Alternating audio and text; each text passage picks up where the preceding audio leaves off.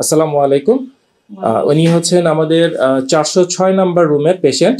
উনি আজকে আমরা ওনাকে রিসিভ করেছি। ওনার নাম এবং ওনার যে সমস্যাটা সেটা আমরা একটু শুনব ওনার কাছ থেকে। আপনার নামটা যদি একটু বলেন আমাদেরকে। আমার নাম শাহিদ আক্তার পরে শাহিদ আক্তার পলি। বাসা কোথায় আপনার? চিটং চিটং কোথায়? মিরসরাইতে। আচ্ছা আমরা আজকে আপনাকে পেয়েছি ডক্টর মোহাম্মদ শফিউল্লাহ প্রধান। আপনি স্যারের কাছে দেখাতে এসেছিলেন। তো আজকে আপনি অ্যাডমিট হয়েছেন আমাদের এখানে। আপনি যদি একটু সংক্ষেপে বলতেন যে আজকে কি সমস্যা নিয়ে আপনি আসলে মূলত ভর্তি হয়েছেন এখানে? আমি যে মূলত ভর্তি হয়েছি আপনার আমার প্রথমে শুরুতে পিঠে ব্যথা ছিল। আচ্ছা। পিঠের বাম সাইডে মানে এটা প্রায় আরও প্রায় আপনার আট নয় বছর আগের থেকেই হালকা আচ্ছা। হালকা ব্যথা ছিল। আচ্ছা। এটার জন্য আমি অনেক ডাক্তার দেখাইছিলাম তো এটা আপনার বলছে যে এমনি ব্যথা কোনো সমস্যা নাই। তো এই ব্যথাটা আপনার কিছুদিন পরে পরে আস্তে আস্তে হইতো আবার চলে যাইতো এরকম। হুম, তো এক সময় মানে এক সময় দেখা গেছে যে এটা আমার ঘাড়ে উঠে গেছে ব্যথাটা। আচ্ছা। মাঝে মাঝে ঘাড় ব্যথা করে আবার ঠিক হয়ে যায়। মানে এভাবেই মানে চলে আর কি। পরে আমার এই দুই হাতে চলে আসে। ব্যথাটা। এটা কতদিন পরে? এটা আপনার এই মানে দুই বছর ভিতরে বেশি মানে বেড়ে গেছে। আগে তেমন আগে প্রথম দিকে খুবই অল্প ছিল যত হ্যাঁ। দিন গিয়েছে বাড়তে থেকেছে এবং গত দুই বছর এটা প্রকট আকার ধারণ করেছে। জি এই দুই বছরের ভিতরে একটু বেড়ে গেছে আপনার মাঝে মাঝে একটু কম লাগে তখন আচ্ছা। মনে হয় যেন একদম ভালো। তারপরে দেখতেছি যে শুধু প্রথম অবস্থায় শুধু জ্বালা পোড়া করতো। মানে রাতে ঘুমাইতে পারতাম না শুধু জ্বলতো। মানে বিন্দে ভিতরে মানে সুইচের মতো বিন্দে শুধু জ্বলে। আচ্ছা। এরকম আবার জি জি হয়ে অবশ্যই আসতো। আবার আচ্ছা। কিছুক্ষণ পরে এটা চলে যেত। আচ্ছা। মানে এভাবে হইতে হইতে আপনার এই মানে এক বছর আগে দেখতেছি যে আপনার এই আমার বাম পায়ে পায়ের আঙ্গুল একটা অবশ্যই আছে। আচ্ছা। একটা পায়ের আঙ্গুল আর এইখানে আপনার তিনটা আঙ্গুল। আচ্ছা। মানে যখন আমি মানে কুটা বাসা করার সময় মানে বোধ শক্তি পান না বোধ শক্তি নাই মানে কেমন জানি হয়ে গেছে। আচ্ছা। আমি তখনই সাথে সাথে ডাক্তার- দেখাছিলাম ডাক্তার দেখাচ্ছি উনি টেস্ট করছে বলছে কোনো সমস্যা নাই এটা এমনি আমাকে কিছু ভিটামিন ক্যালসিয়ামের ওষুধ দিছে। কিছুদিন পরে দেখছি আবার ভালো হয়ে গেছি কোনো সমস্যা নাই। আচ্ছা। তো এরপরে আবার আপনার এই আজকে প্রায় পাঁচ ছয় মাসের ভিতরে মানে সমস্যাটা অনেক বড় আকারে মানে খারাপ হয়ে যাচ্ছে দিন দিন। দর্শক কেমন আছেন আপনারা? চলে আসলাম আপনাদের কাছে। কথা দিয়েছিলাম, আবারও আসব। আলহামদুলিল্লাহ, আবার আসতে পেরেছি। আল্লাহ না চাইলে আসলে পৃথিবীতে কোনো কিছুই সম্ভব না। আল্লাহ চেয়েছেন বলেই হয়তো আমার এই বোনটি সুস্থ হয়ে গিয়েছেন। ডক্টর শফিউল্লাহ প্রধান, যিনি কথা দিয়েছিলেন ইনশাল্লাহ সুস্থ হবেন, চিকিৎসা নিতে থাকুন। এবং সেই বিশ্বাসে উনি ভর্তি হয়ে গিয়েছিলেন এবং আলহামদুলিল্লাহ আজকে উনি সুস্থ আছেন, ভালো আছেন। দর্শক, সরাসরি পেশেন্টের কাছে চলে যাই। আসুন একটু ওনার সাথে কথা বলি। বোন, কেমন আছেন আজকে? জি, আলহামদুলিল্লাহ, ভালো আচ্ছা আমরা মাঝখানে আপনার কিছু ভিডিও নিয়েছিলাম আমরা। তখন ট্রিটমেন্ট চলমান অবস্থায় ছিল এবং আপনি বলেছিলেন যে আপনি ভর্তি হয়েছেন ট্রিটমেন্ট চলছে। তখন আপনি আগের থেকে আলহামদুলিল্লাহ অনেকটুকুই ভালো ছিলেন। আজকে কততম দিন আপনার? আজকে আমার দশতম দিন। দশমতম দিন। কেমন আছেন আজকে? জি আলহামদুলিল্লাহ ভালো আছি আগের থেকে। কতদিন পরে মন থেকে বলতে পেরেছেন যে না আলহামদুলিল্লাহ আমি ভালো আছি কত বছর প্রায়? আট নয় বছর পরে আর কি জি। আচ্ছা অনেক দর্শক আছেন বা অনেকের জন্য হয়তো জানেন না তাদের জন্য যদি একটু প্রথম থেকে একটু বলতেন যে কি সমস্যা আপনার হয়েছিল এবং কীভাবে কীভাবে আপনি এই আজকে এই পর্যন্ত আপনি এসেছেন? যদি আপনার এই পুরো পরিক্রমাটা যদি আমাদের দর্শকদের জন্য একটু বলতেন সংক্ষেপে। এটা হচ্ছে আমার প্রায় আরও আট নয় বছর আগে থেকেই আমার তখন পিঠে ব্যথা লাগতো হালকা হালকা। হুম হুম। তো আমি মনে করতাম যে হয়তো বা এমনি কোনো ব্যথা আর কি। শুরু হয়েছে আমার পিঠের ব্যথা থেকে এটা। আচ্ছা। আপনার ওই যে কোনো কাজ করতে পারতাম না নিচু হয়ে কাজ করলে আপনার সোজা মানে সোজা হয়ে যেতে হইতো একদম। মানে নিচু হইলে আপনার পিঠে অনেক ব্যথা লাগতো। প্রচণ্ড পেইন করতো জি। আর সাংসারিক কাজে আমাদেরকে। নিচু হতেই হয় বিভিন্ন ধরনের মুভমেন্ট করতে হয় মানে কোনো নিচু হয়ে কাপড় চোপড় ধুইতে গেলে কিছু করতে গেলে মানে ব্যথার জন্য পারতাম না। সাথে সাথে উঠে দাঁড়া মানে দাঁড়ায় যেতাম আর কি। দাঁড়ালে ভালো লাগতো। আচ্ছা। তো এইভাবে চলতো। আমি আপনি অনেক ডাক্তার দেখাছিলাম চিটাং এ। তো ওনারা বলতেছে যে এমনিতে এটা কোনো সমস্যা না এমনি হয়তো আপনার ব্যথা এটা এটা প্রথম দিকের অবস্থা প্রথম দিকে হ্যাঁ। জি। তো পরে কিছু মেডিসিন দিছিল খাওয়ার পরে দেখতেছি আবার ঠিক হয়ে গেছে কোনো অসুবিধা নাই। তো এরকম মাঝে মধ্যে আপনার প্রায় সময় লাগতো। আচ্ছা। লেগে আবার দেখি নিজে নিজে ঠিক হয়ে যেতাম তো এইভাবে শুরু। তা আপনার পরে দেখতেছি আপনার প্রায় মানে দুই বছর আগে দুই বছর আগে দেখতেছি একদিন আমার আপনার ওই পায়ের আঙ্গুলগুলা কেমন জানি অবশ অবশ ভাব আর আচ্ছা। হাতের আঙ্গুলগুলা মানে এই অবশ ভাব। আমি সাথে সাথে আপনার ডাক্তারের কাছে গেছি চিটং একটা ডাক্তার দেখাছিলাম তো উনি আমাকে কিছু এক্স রে দিছে আর কিছু টেস্ট দিছিল। তো দেওয়ার পরে বলতেছে যে মানে আমার মানে এই হাড় মানে হাড় বেড়ে গেছে এটা বলছে মানে। বেঁকা হয়ে গেছে। দেওয়ার পরে উনি আমাকে কিছু ওষুধ দিছিল আর ওখানেও থেরাপি দিছিলাম প্রায় আপনার এই বিশ পঁচিশ দিনের মতো। তো একটু কম ছিল কমার পরে ওনার কাছে যাওয়ার পরে বলতেছে যে এখন তো ভালোই গেছেন আর কিছু লাগবে না চলে যান। আচ্ছা। চলে আসছি বাড়িতে। তার ডাক্তার দেখাই নাই। পরে দেখতেছি সমস্যা এটা আরও বাড়তেছে। আচ্ছা। এবার দেখতেছি যে আমার শুধু আপনার বাম হাত এটা আপনার শুধু জ্বালা পোড়া করে রাত্রে শুইলে আর পুরোটা অবশ্যই থাকে। মানে আমি এই হাত দিয়ে এটাকে উঁচু করে উঠাই। মানে আচ্ছা। এরকম অবস্থা মানে মানে অনেক সময় দেখা যায় আমরা হাত মানে রক্ত চলাচল বন্ধ হয়ে গেলে হয়তো সেটার উপর কোনো কিছু চাপ থাকলে পুরোটা বন্ধ হয়ে যায় তখন অনেক সময় আমরা নিজেরা নাড়তে পারি না নাড়তে আরেক পারি না হাত দিয়ে আরেক হাত দিয়ে উঠাইতাম জি উঠাই আপনার মানে উঠাই অনেকক্ষণ পর্যন্ত লাড়াচাড়া করলে আস্তে আস্তে মানে এটা ঠিক হইতো। আচ্ছা। তো এইভাবে করতে মানে করতে এবার প্যারালাইজড রোগীদের যেরকম হয় তারা পা নাড়তে পারে না হ্যাঁ এরকম মানে এরকম হয়ে যেত হ্যাঁ, জি। কিছুটা ভীতি কাজ করা শুরু করল এরপরে দেখতেছি যে আস্তে আস্তে এটা ডাইন সাইডে চলে আসছে। আচ্ছা। এবার ডাইন সাইডের মানে বাম সাইডের মতো ডাইন সাইডেও মানে এরকম লাগে।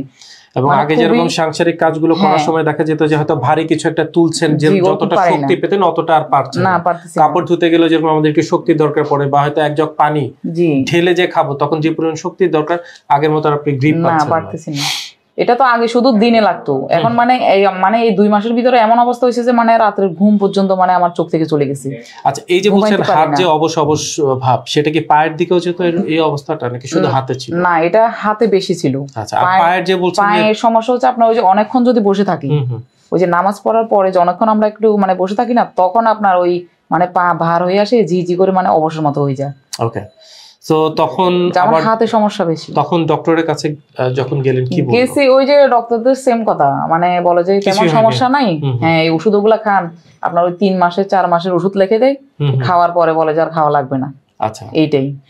তারা তো আসলে খুব সহজে বলে দেন না কিছুই হয়নি। কিন্তু আপনি তো বুঝতে পারছেন যে আপনার আমি ভিতরে তো- একটা হ্যাঁ আমি তো বুঝতে পারতেছি যে আমার সমস্যা আছে। সমস্যা না হলে আমার এরকম কেন লাগে? সেটাই। আমি সারা রাত মানে ঘুমাইতে পারি না। মানে কেমন জানি লাগে। আমি বসে থাকি। মানে শুইতে গেলে আমার ভয় লাগে। যে কখন কি হয়ে কি যায়। হয়ে যায় মানে যেহেতু অবশ হয়ে যাচ্ছে মানে অনেকের ভিতরে একটা ভ্রান্ত ধারণা থাকে যে স্ট্রোক করলাম না তো বা এই হ্যাঁ। ধরনের কোনো কিছু হচ্ছে না প্যারালাইজ হয়ে গেল না তো বা ঘুম থেকে উঠে কি আমি কি এরকম কিছু দেখব কিনা? জি আমি আবার এই আপনার ওই যে হার্টের ডাক্তারও দেখাইছি হৃদরোগ বিশেষজ্ঞ আচ্ছা। ওনাকে। তো ওনাকে দেখাইছি আর উনিও বলতেছে মানে অনেকের স্ট্রোক করার আগে নাকি এইসব লক্ষণ দেখা যায়। আর ভয়টা আরেকটু বেড়ে গেল। হ্যাঁ এটার জন্য অনেক ভয় পাইছি। তো উনি আমাকে আবার আপনার ইসিজি সবকিছু করাইছে কিন্তু কোনো সমস্যা নাই নর্মাল আচ্ছা। তারপরে কি করলেন? তারপরে মাঝখানে মানে এই দুই মাসের ভিতরে মানে একদম অসহ্যকর মানে সহ্য করার মতো না। মানে হ্যাঁ, আমি মানে দুপুরেও একটু মানে দুপুরে যে রেস্ট করব ওই ইয়াটাই আমার ভয় লাগে। শুইলে আমার মানে সবকিছু মানে অবশ হয়ে করা করল। মানে অবশ হয়ে যায় আর কে- মানে ঘুম মানে ঘুম হয় না আমার। উঠে আমি আগে যেরকম পুরো সংসারকে আমরা জানি যে হয়তো বাসায় কাজের লোক থাকতে পারে অন্যান্য মানে তাদেরকে দিয়ে একটা কাজ করানো আর নিজের কাজ আসলে এমন অনেক কাজ থাকে যেটা আসলে হয় না। তখন নিজেকে বাধ্য হয়ে করতে হয়। সেই আপনার যে কাজের লিমিটগুলো সেগুলো অবশ্যই অনেক কমে এসেছে। মানে আপনার পৃথিবীটা অনেকটুকু ছোট হয়ে এসেছে। আগে যেরকম অনেকগুলো কাজ করতে পারতেন বা অনেক জায়গায় বাইরে যাওয়া বাইরেরও অনেক কাজ থাকে সেগুলো অনেকটা সংকুচিত হয়ে আসলো। তখন কি মনে হতো মনের ভিতরে? মনের ভিতরে তো আসলে অনেক ভয় কাজ করতো আর কি যে আসলে কি মানে এভাবেই মানে আমার জীবনটা যাবে? মানে নিজের বাচ্চা কাচ্চা আছে জি মানে ভয় লাগতো। আর ও তো ধরেন প্রবাসে থাকে তো পরে বলতেছি ওনার মানে টেনশনটা আরও বেশি বেড়ে গেল। হ্যাঁ, যে মানে- কারণ কাছে থাকলে এক জিনিস দূর থেকে হ্যাঁ। কি না জানি কি হয়ে যাচ্ছে। জি মানে অনেক ভয় কাজ করতো আর কি। তো পরে আমি আপনাদের এই খোঁজটা পাইলাম। কীভাবে পেলেন? মানে আসলে মার্কেটের তো আসলে অনেক আছে অনেক অনেক। মানে এত কিছুর মাঝে ছেড়ে হোয়াই ডক্টর শফিউল্লাহ প্রধান? আমি আসলে ওই যে ইউটিউবে সার্চ করার পরে মানে। হঠাৎ করে একদিন আপনাদের আপনারই একটা ভিডিও। প্রথমে আমার মোবাইলে দেখি। দেখার পরে এটা প্রায় ধরেন এক বছর আগে। এক বছর আগে। তো দেখার পরে প্রথম প্রথম মানে তেমন একটা ইয়া লাগতো না যে হয়তো যাব বা যাইতে হ্যাঁ হবে যাব বা যাব না বা সত্যি। কি বা কি মানে মিথ্যা মানে বিশ্বাস হইতো না তেমন। পরে আস্তে আস্তে আস্তে আস্তে দেখতাম যে মানে আমার অনেক রোগের সাথে আপনাদের এই যে স্যারের কিছু কথার মানে মিলে যায় মিলে যাচ্ছে। সিনড্রোমগুলো মিলে যাচ্ছে মিলে যাচ্ছে। কিছু। তা আমি একদম প্রায় এক বছর পর্যন্ত আপনাদের সব ভিডিও আপনারা যত ভিডিও দিতেন সবগুলোই আমি দেখতাম। দেখে দেখে মানে লাস্টে আমার একটা মানে বিশ্বাস জন্মে গেছে যে মানে আমি মনে হয় ওখানে গেলে হয়তো বা সুস্থ হইতে পারব। মানে লাস্ট দুই মাসে আসলে এটা আপনার হ্যাঁ, আরও বেশি জোরদার হ্যাঁ, হয়েছে জি। জিনিসটা। পরে ও আসলো বাড়িতে আমি বলি যে এই সুযোগে যদি না যায় তাহলে আর আমার যাওয়া হবে না। কারণ চিটং থেকে তো এখানে মহিলা মানুষ একা আসা যায় না। একটু ডিফিকাল্ট জি। পরে আল্লাহর উপর ভরসা রেখে আসলাম আপনাদের এখানে। প্রথম দিন স্যারের সাথে দেখা। কি বললেন স্যার মনে আছে? জি স্যার আপনার শুরুতে দেখেই আমাকে কিছু টেস্ট দিছে আপনার। এমআরআই দিছে সবগুলা বলে যে আগে এগুলো করাই নিয়ে আসেন। তো পরে আমি করালাম সবগুলা। তো করানোর পরে রিপোর্ট দেখানোর পরে উনি বলতেছে যে আপনার পিএলআইডি সমস্যা। হুম হুম। তো বলতেছে যে টেনশন করিয়েন না আপনি দশ দিন বা পনেরো দিন থাকেন ইনশাল্লাহ ভালো হয়ে যাবেন। এটা বলছে। তো স্যারের কথা শুনে আমি সাথে সাথেই আমি ওই হিসাবে প্রিপারেশন নিয়ে আসছি। যাতে মানে যদি ভর্তি থাকা লাগে আমি মানে ভর্তি হয়ে যাব। তো সাথে সাথে ওই দিন ভর্তি হয়ে গেছি আর কি। সেই প্রথম দিন ভর্তি হওয়া মানুষটা যে মানুষটা একটা সময় ঘুমাতে যেতেও ভয় পেতেন। জি। সারা দিন আর চব্বিশ ঘণ্টা হয়তো আজকে ঈদের দিন বা ভালো একটা দিন। কিন্তু আপনার মনে সবসময় একটা সংশয় একটা ভয় কাজ করতো। আর দশটা মানুষ আপনার হয়তো অন্যান্য ভাবিরা বা বোনরা যারা অনেক কাজ খুব সহজে করছেন আপনি আর করতে পারতেন না খুব আফসোস করতেন একটা সময়। এবং আপনি আদৌ করতে পারবেন কিনা সেই কনফিডেন্স আপনি হারিয়ে ফেলেছিলেন। সেই মানুষটা আজকে দশ দিন পরে কেমন আছেন? এখন আলহামদুলিল্লাহ আগের থেকে অনেক ভালো। এখন তো এখন কি রাতে ঘুমাতে গেলে সেই ভয়টা এখন কাজ করে? প্রায় আজকে তিন দিন ওই মানে ওই ভয় কাজ করতেছে না আর কি। এবং সেই অবশ হয়ে যাওয়াটা সেটা এখন আর হচ্ছে না। না হচ্ছে না। আজকে তিন দিন একদমই মানে হচ্ছে না। মানে খুবই মানে হালকা মনে হচ্ছে নিজের আমরা দেখা যাচ্ছে যে যদি আমার ভিতরে ইন্টারনাল পেইন থাকে ব্যথা থাকে বা আমার শরীরে কোনো রকম সমস্যা থাকলে আমরা কিন্তু আসলে মানুষটা কিন্তু বুঝতে পারি। সো আপনি কি ভিতর থেকে এখন বুঝতে পারছেন যে আলহামদুলিল্লাহ এখন আপনি অনেকটুকুই সুস্থ আছেন ভালো এটা তো আল্লাহর মতে আমার কাছে অনেক ভালোই লাগতেছে। তার মানে মানে এই যে এত দূর থেকে আসা এত কষ্ট করে এত ত্যাগ স্বীকার করে আসা চিকিৎসার জন্য আসা আপনার আশাটা সফল ছিল এবং সঠিক ডিসিশন ছিল মনে করেন আপনি? আমি তো মনে করতেছি মানে আল্লাহর রহমতে এটা সঠিক সিদ্ধান্ত ছিল আমার। আলহামদুলিল্লাহ। অসংখ্য বোন আছেন মা আছেন বাবা আছেন হয়তো ক্যামেরার পাশে দেখছেন আপনাকে। জি। ঠিক তারা হয়তো ঠিক একদিন হয়তো আপনার এখানে হয়তো তারাও আসবেন তারাও বলবেন। তাদের জন্য যদি আপনি কিছু বলেন। তাদের জন্য এটাই বলব যে অসংখ্য মানুষ তো আছেই যে এক একজনের এক এক রকমের সমস্যা। আপনারা যদি আমার মতো এখানে আসেন হয়তো অবশ্যই আপনারা একটা ভালো ফল পাবেন এটাই আশা করি। আলহামদুলিল্লাহ। দর্শক ডক্টর শফিউল্লাহ প্রধান কথা দিয়েছিলেন। আলহামদুলিল্লাহ আল্লাহ চায়েন তো উনি তার কথা রাখতে পেরেছেন। আমার এই বোনটা এখন সুস্থ আছেন, ভালো আছেন। এখন ঘুমাতে গেলে ওনাকে চিন্তা করতে হয় না। এবং অনেক স্বাভাবিক কাজই যেটা হয়তো কিছুদিন আগে উনি করতে পারতেন না, এখন আলহামদুলিল্লাহ উনি করতে পারেন। হয়তো আরও যত দিন যাবে, হয়তো ডে বাই ডে উনি আরও বেশি ডেভেলপ করবেন, আরও বেশি সুস্থ হবেন। দর্শক, দোয়া করবেন আমার এই বোনটির জন্য, যাতে উনি আজীবন এরকম সুস্থ থাকেন, ভালো থাকেন। অ্যাটলিস্ট মন ভরে বলতে পারেন, না, আমি আজকে সুস্থ আছি, আমি ভালো আছি। আপনারাও সুস্থ থাকবেন, ভালো থাকবেন। অসুস্থ হয়ে পড়ে থাকার জন্য আপনাদের জন্ম হয়নি এই পৃথিবীতে, দর্শক। আমাদের এরকম অসংখ্য মানুষ আছেন যারা বছরের পর বছর তারা রোগকে পুষতে থাকেন। হয়তো ভাবেন যে ভালো হয়ে যাব, হয়তো সুস্থ হব। হয়তো আপনি সত্যি নিজে নিজেই সুস্থ হবেন, কিন্তু যদি না হন, সেটার জন্য যখনই সমস্যা হবে, অবশ্যই আমরা বলব বিশেষজ্ঞের পরামর্শ নিন। বিশেষজ্ঞের পরামর্শটা নিলে অ্যাটলিস্ট আপনি বুঝতে পারবেন আপনার সমস্যাটা কোথায়।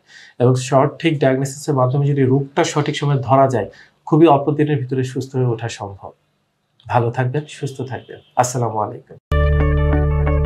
আমরা জানি আপনার প্রিয়জন আপনার জন্য কতটা গুরুত্ব বহন করে। প্রপার ডায়াগনোসিস কনসালটেশন পেইন ও প্যারালাইসিস চিকিৎসা পুনর্বাসন আমাদের সব আয়োজনই সব সময় আপনাদের জন্য চব্বিশ ঘণ্টা খোলা। আমরা চাই না আপনারা বারবার আমাদের কাছে ফিরে আসুন তবুও আমরা আছি সব সময় সর্বদা আপনাদের পাশেই। ডিপিআরসি হসপিটাল লিমিটেড আস্থা বিশ্বাস ও নির্ভরতায় অবিচল।